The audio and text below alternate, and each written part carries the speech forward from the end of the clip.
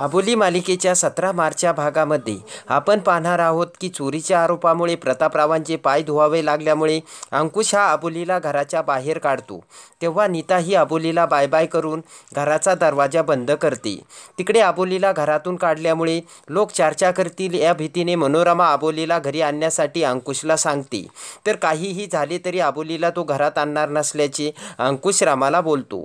तिकडे भावनाबाई आबोलीला भेटते आणि ज्या अंकुशने आबोलीला बायको केली होती. त्याच अंकुशने तिला घराच्या बाहेर काढून हाकलले असल्याचे भावना अबोलीला सांगते. तर दुसरीकडे शरद हा अबोलीला हाकलून दिल्यामुळे खूप खुश होतो आणि नीताला मंगळसूत्र घालू लागतो. तेव्हा नीताही खुश होते.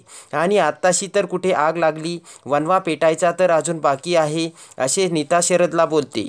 दुसरीकडे अंकुश हा ऑफिसमध्ये येतो. तर त्याच्या वाढदिवसासाठी स्पेशल केक आणल्याचे तेथील पोलीस अंकुशला बोलतात आणि केक कट करण्यासाठी सांगतात.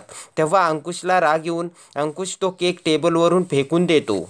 तर आता रामाच्या सांगण्यानुसार अंकुश हा अबोलीला घरी घेऊन येणार का? तुम्हाला काय वाटते ते आम्हाला कमेंट्समध्ये नक्की कळवा. आणि अबोली मालिकेच्या डेली अपडेटसाठी बेल नोटिफिकेशनवर क्लिक करून आपल्या चॅनलला लाईक करा सबस्क्राईब करा.